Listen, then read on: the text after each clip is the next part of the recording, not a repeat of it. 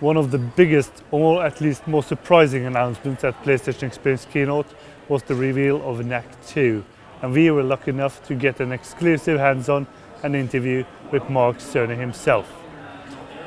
Knack 2 is indeed an evolution of the original Knack, both in terms of platforming, combat and puzzles.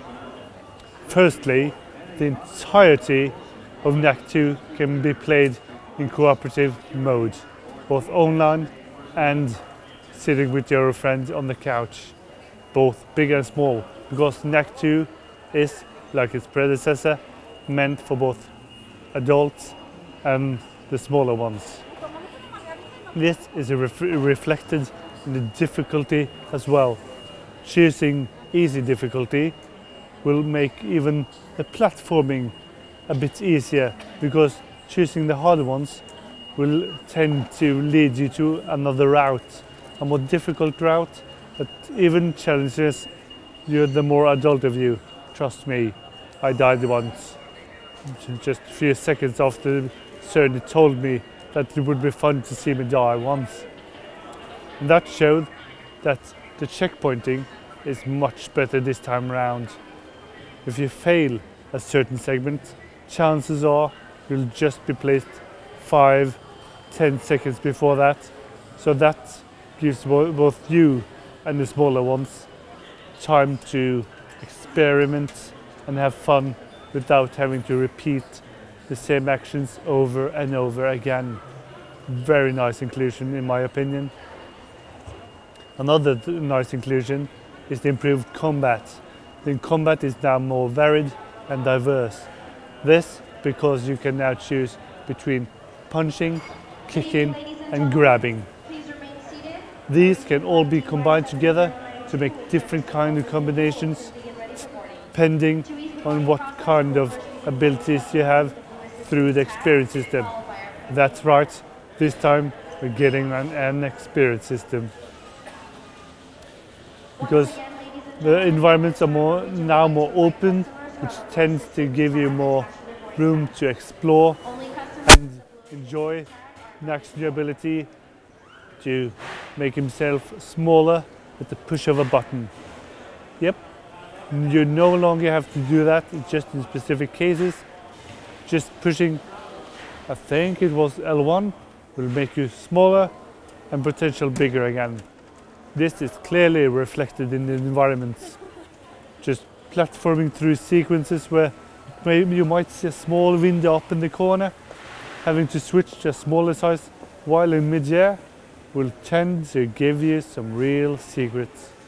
These secrets are often rewards such as more experience points to upgrade Knack's powers, make him stronger, give him new abilities, or new gadgets that will give him a more maybe new attacks and different kinds of advantages that way.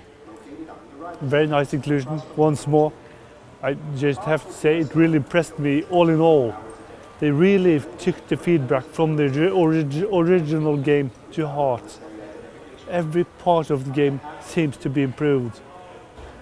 Even, and once again, the combat, the variety of enemies is now much better. We've met simple goblin looking creatures that were easily defeated by just bashing buttons. And we saw through our progression that you can meet uh, enemies that will be able to block your attacks, which again, you will have to use one of your new attack abilities by grabbing, grabbing the enemy or stunning the enemy by either just quickly pushing the triangle button or holding it in. Holding it in will then paralyze your enemy for a few seconds, then he's open to attack. Also, to make these fights even faster, you can once again join up with a friend. And that's just that's just not two Knacks working together. It's two Knacks almost fusing their powers to really, really make it a much more fun experience in my opinion getting to play together with Sony was really fun because you can yeah you get new abilities including you can by punching your friend just for fun you can change between you can steal his bits to get be, become stronger or just to have fun crushing him.